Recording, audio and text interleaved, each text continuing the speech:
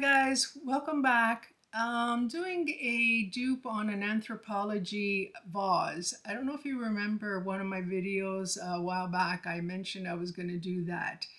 And uh, it's that time. So um, I'm going to pop the video up, uh, the picture over here. um, it's the Minka textured pot and uh, it comes in a lot of sizes uh, one, two, three, four, five, six, seven sizes. And uh, they get pretty expensive, as low as 34 to $458.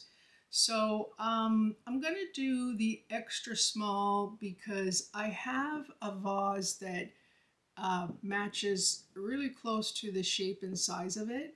So um, I try to do it as close as possible and um, the extra small is 6.2 inches in height.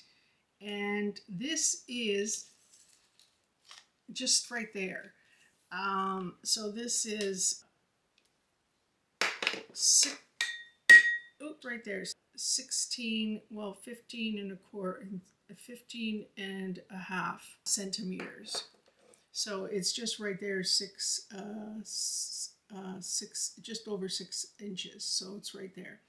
And six inches in diameter, but this is larger.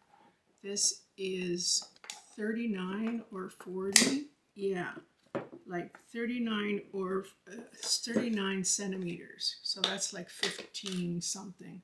So it is larger in diameter, but the opening diameter at the top says 3.25, and this is just right at nine centimeters, so that matches.